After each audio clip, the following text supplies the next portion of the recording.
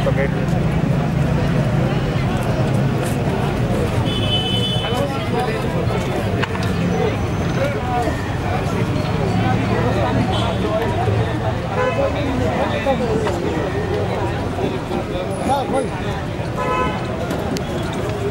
Hvala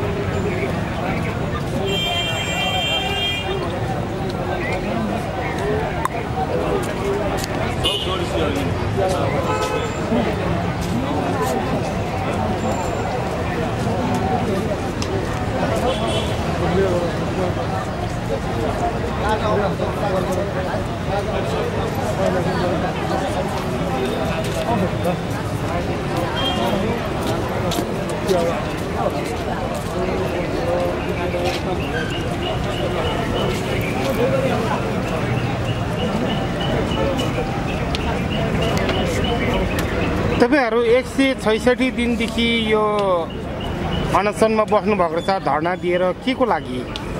हाम्रो छोरीलाई हत्या गरेको छ उसको सासु ससुरा मिलेर घरमा नै हत्या गर्यो। अनि कसैले पुलिस प्रशासन पनि कसैले देखेका छैन।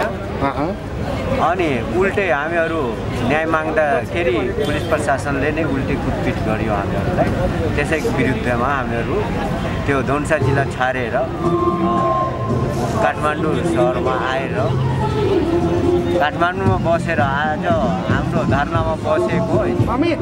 एक सय छ्यासठी दिन भयो। अमित। अँ, भन्नु त। हामीहरू धनुषा जिल्लामा न्याय नपाइकन काठमाडौँ सहरमा आए। अनि त्यहाँ पनि न्यायको पर्खाइमा हामीहरू बसेका छौँ। आज हाम्रो एक सय छ्यासठी दिन भइसक्यो यहाँ माइती घरबाट अनि शान्ति बैठिकामा बसेका छौँ। अहिले पहिला हामीहरू माइती घरमा बसेर आएका थिए।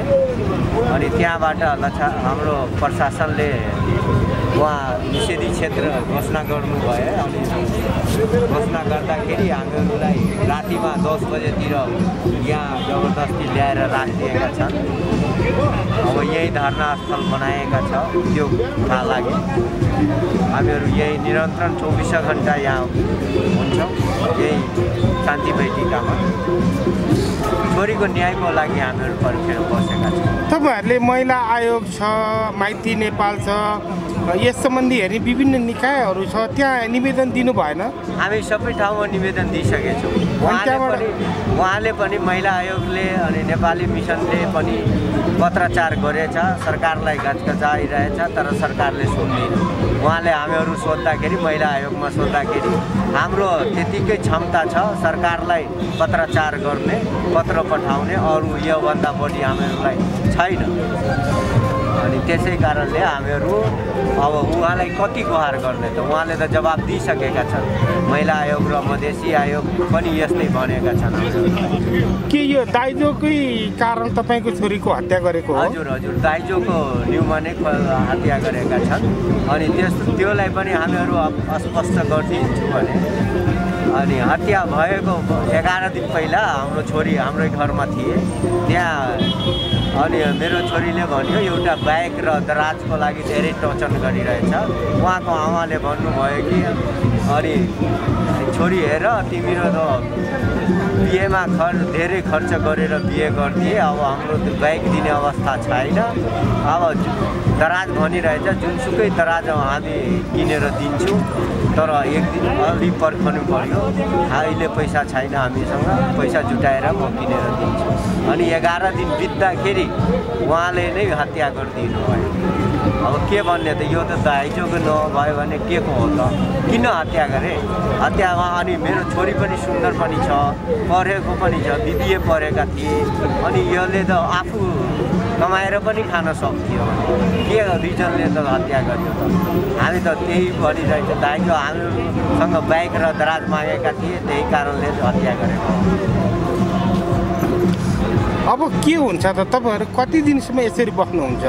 आज त हाम्रो एक सय छ्यासठी दिन भइसकेछ तर अब कति सरकारलाई सोध्नुहोस् न सरकारले सोध्नु पनि सक्नुहुन्छ। यो जनताले पनि सोध्न सक्नुहुन्छ। योलाई किन न्याय भेटेन? किन न्याय दिन परेन? त्यो कुरो त अब सरकारसँग छ। सरकारले कहिले हाम्रो न्याय दिन्छ भने हामी जहिले न्याय दिन्छ तब फर्केर जान्छौँ हामीहरू त्यहाँ पुलिसलाई पनि रिपोर्ट गर्नुभयो तपाईँहरूले? पुलिसले पनि रिपोर्ट गरेका छौँ हामीहरू। पुलिसले पनि सबै जुन दोषी छ भने त्योमाथि कारवाही गर्ने हाम्रो माग मुख्य माग त्यही हो। जुन दोषी छ भने त्यसलाई माथि कारवाही हुनु पर्यो अनि दोषी छैन भने त्यसलाई यो त्यस्तै दरिवा गरिदिनु हाम्रो केही माग छैन। सरकारसँग यति माग छ भने छानबिन एउटा समिति गठन गरिदिनुहोस्। अनि पुलिसहरूले दोषी छ भने त्यसलाई निलम्बन गर्नुहोस्। त्यही हाम्रो माग छ। अनि जुन हत्याराहरू छन् त्योमाथि कारवाही हुनु पर्यो। हत्यारालाई जेलमा हाल्नु पर्यो अनि उनलाई फाँसीको सजाय दिनु पर्यो। अब हाम्रो नेपाल सरकारले के सजाय तोकेका छन् त्यो आधारमा सजाय दिनु पर्यो।